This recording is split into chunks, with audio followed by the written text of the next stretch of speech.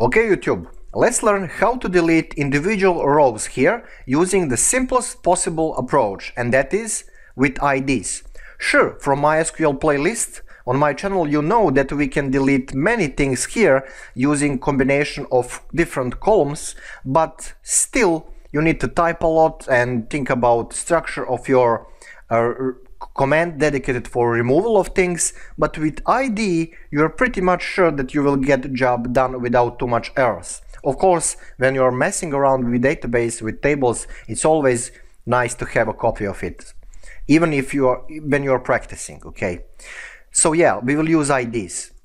Right, uh, we will save, we will work into new file, like delete.php, okay, here we are. Now let's remove something what we don't need from here, okay? And we need obviously to change actual command. So delete uh, from table people in this case. Let me say I'm gonna delete John here at place 13 because that's like a no sorry 12 because that's like a double information a duplicate. We don't need it. So we are trying to clear like our database our table. So delete from people where id equals 12 and we don't need to use here any kind of quotes. This is just integer so the thing will work. Right. After that because this is just a command and now we need to check if everything is fine we will use if statement.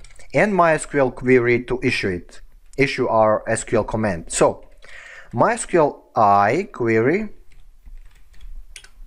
and that thing demands uh, actual connection. In our case just connection simple stuff and actual SQL query. Uh, sorry command. And I think we are cool. So let's print when operation is done when everything is fine. Let's print for example something totally generic SQL command OK and you can go into great details here when you're messing around with your CMS with uh, custom information but I just don't have those kind of ideas right now you know uh, so yeah. Uh, let's end that command right here. So that's that's pretty much it. And we need to have a backup operation if something is wrong. For example if we issue this command couple of times and they will say echo mm, SQL error something generic or like um, that row already deleted or something like that. Sorry. Who cares? SQL error. And let's connect that with um, actual error if it happens from system. So we have custom error plus generic error. So MySQL I error okay. And when you are working with errors you want to know about what kind of connections we are talking about. So connection and I think that we are pretty much fine right now. Save and let's go to that file. Delete.php enter.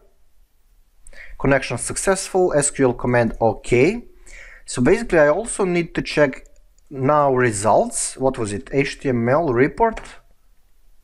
And there you go. So you can also use like range of results from 13 to, to 15 let's say. And of course we need to mess around with pure mysql command. Let me see. Uh, where id between what was it? 13 and 15 okay? Now we can also use delete from people and that thing will totally delete everything. But let's just say that you want to mess around with specific range because you have I don't know 10,000 rows in your database in your table. So save and delete. Delete.php where is that thing? Connection successful.